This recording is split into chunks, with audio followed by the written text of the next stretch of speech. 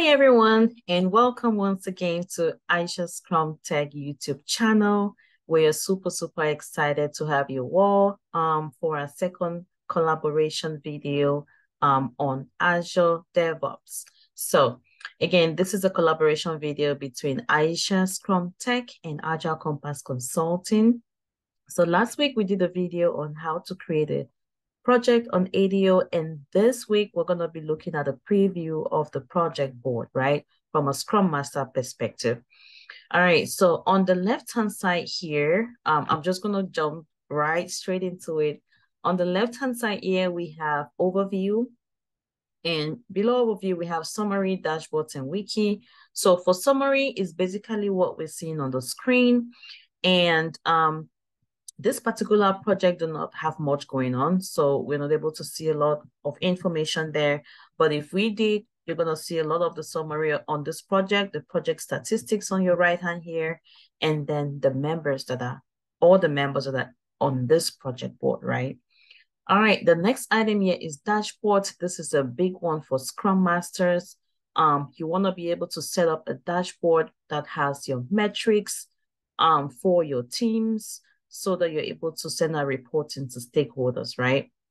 So when I talk of metrics here, we're talking about velocity chart, um, your sprint health check.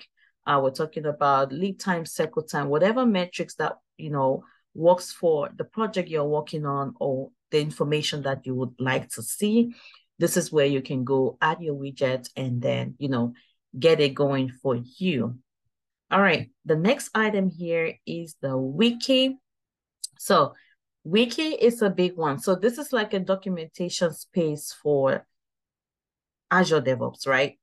For those who use Jira, you know that 90 plus percent of the time, Confluence is the documentation space, right, for Jira.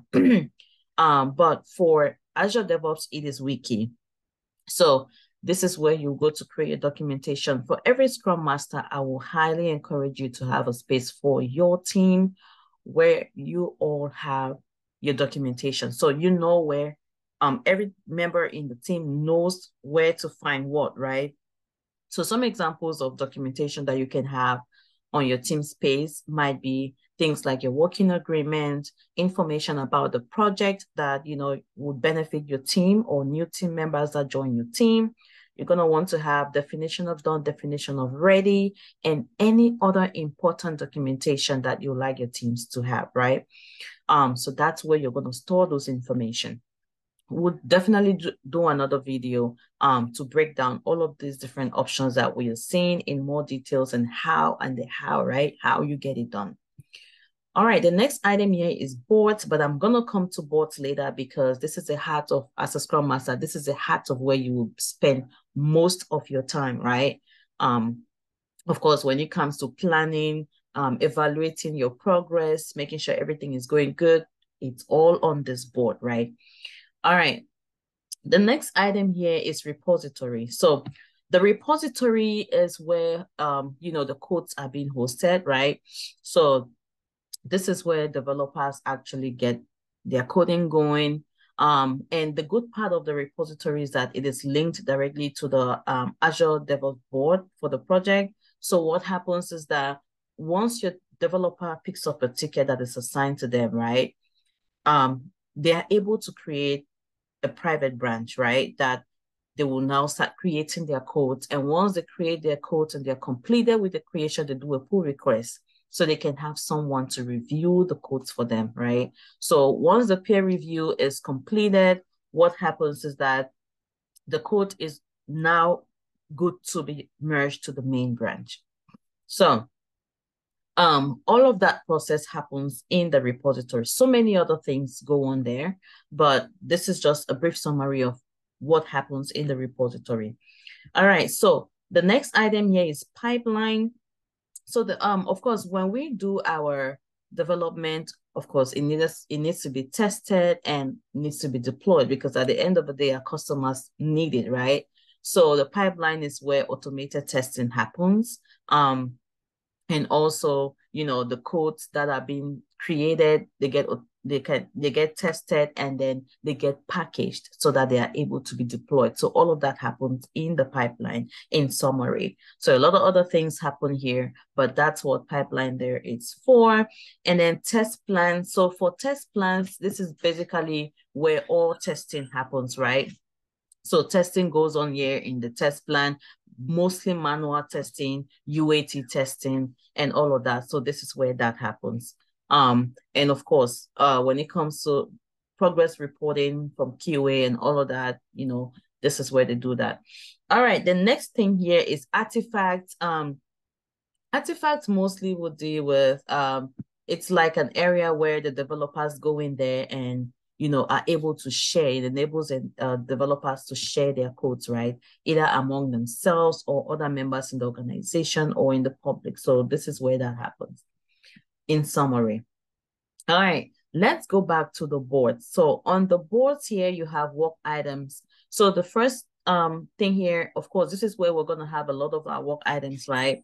And then um, if you see here, you can, this is recently updated. If you want to see recently updated items, this is where you click and you see them.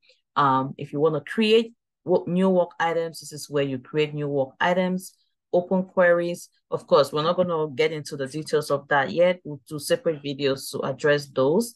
And then for boards, this is where you have um, the board view or Kanban view of your tickets on the board.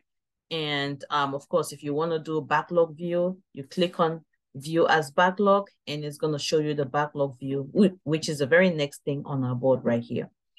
All right, on the backlog view, of course, you have all your PBIs in one place, all your product backlog items on this spot right here. And then you have analytics. Analytics, we're going to see analytics down here, but um, you know, analytics is basically also like a reporting side for your um for some metrics. So um, I think analytics is you know powered by Power BI. Some um, uh, tool that helps with um, reporting metrics as well, automatically reports metrics as well. All right, so you have um, new work item. You can also create your tickets here. Um, in Azure DevOps, new work item is like, you know, creating a user story, right? So you can do that there. And then you can view as a board and you take you back one step up to see the board view and all of that. And then for the backlog, um, backlog items, you know, you have features, you have backlogs, you have epics, whatever it is that you need to add to that, you can view them over there. All right, let's go to the next thing here, sprint. So sprint is a big one. This is where you will see your sprint after sprint work that you've committed for um for in your sprint. So the task board will be all the tasks that you have on your board. So this is a little bit tricky because in Jira, for example, we don't have a separate task board, right? But on Azure DevOps, we have task board. And uh, the reason why it's a little bit different is because Azure DevOps will track on your burn down chart hours versus the days in the sprint. So you put the hours under the separate task, right? So now you're able to see only your tasks that you have, and you can easily tell if your tasks have hours or do not have hours.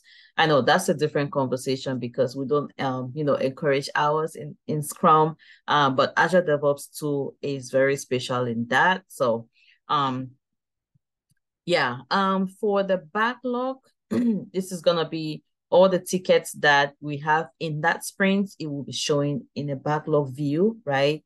Um, capacity, of course, we have a capacity planning planner on Azure DevOps. So this helps with that. And you can get people's time in and all of that good stuff. We'll do separate videos to go into details. And then I just talked about analytics as well. And when you're on your dashboard, you can add users. And the good thing with Azure DevOps is that if you have any other items that you would like to see on your Scrum board, such as your sprint goal, you can definitely go to marketplace and add them on, right? So a lot of times you can make this work for you as you would like it. So the way that my view, my view on this Azure DevOps board might not be the same with each and everybody's view based on how you've customized it for to work for you, right? So um that's one of the good things about Azure DevOps. You can always customize it to work for you. All right, so queries. So this is a big one for Azure DevOps. Um, even for Jira as well. So Azure DevOps, we can write your queries to be able to pull data that you want to see, right? So this is where you can go to do that. And then delivery plans, of course, our stakeholders love, love, love delivery plans because they want to be able to say, okay, when are we expecting, right? When are we expecting that this can be delivered based on, um, you know, how much work that our developers are able to get done. So this is where we can go in and create delivery plans for our epics and features and whatever thing that we would like to report on the delivery right here. We'll do a separate video for that as well. All right, we already talked about analytics. And yep, that's the end of this video. Um, I hope you enjoyed this video. Super, super excited to share this. We will be going into more details to flesh out stuff um, for easy understanding. So thank you so much for watching. We appreciate you watching this video. Um, so we appreciate you watching this video. If you want to join our program, we do offer mentorship program for those who are looking to join um, change careers and be a scrum master. We also offer uh, level two you know, sessions where we train new Scrum Masters and level three, where we mentor um, Scrum Masters working on their job. So please do well to reach out at um, admin at aishascrumtech.com and we will be more than happy to help you. So thank you once again and hope you have a blessed day. Bye.